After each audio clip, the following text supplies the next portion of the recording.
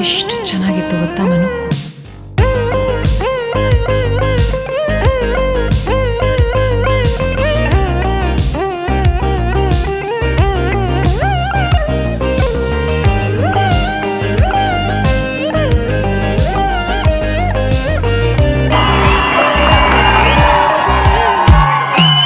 ನದಿಯೇ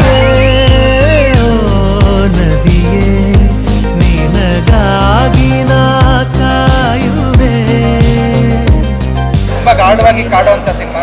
Rakshit career one of the best performance ಇದು. ಒಬ್ಬ ಕನ್ನಡದ ಪ್ರೇಕ್ಷಕನಾಗಿ. ಥ್ಯಾಂಕ್ ಯು ಸೋ ಮಚ್ ಈ cinema ತಂದಿದ್ದಕ್ಕೆ.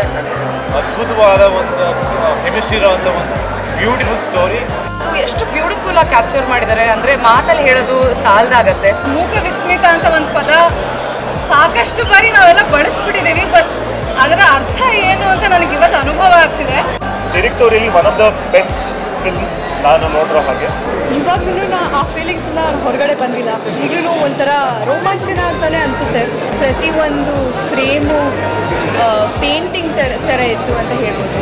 Amazing I don't have any words to say ಸುಮಾರಷ್ಟು ಸತಿ ಕಣ್ಣಲ್ಲಿ ನೀರೇ ಬಂದ್ಬಿಡ್ತು so heart touching film I am so emotional I don't know what to say ತುಂಬ ದಿನ ಆದಮೇಲೆ ಈ ಥರದ ಒಂದು ಲವ್ ಸ್ಟೋರಿ ಬರ್ತಾ ಇದೆ. ಇದರಲ್ಲಿ ತುಂಬ ಇಷ್ಟವಾದಂಥದ್ದು ಏನಂತ ಹೇಳಿದ್ರೆ ಮನು ಮತ್ತು ಇದರಲ್ಲಿ ರೈಟಿಂಗ್ ಇರ್ಬೋದು ಹೇಮಂತ್ ಅವರ ಡೈರೆಕ್ಷನ್ ಇರ್ಬೋದು ಅವರು ತಂದಿರುವಂಥ ಸಣ್ಣ ಸಣ್ಣ ಎಲಿಮೆಂಟ್ಸ್ ತುಂಬಾ ಟಚ್ ಆಗುತ್ತೆ.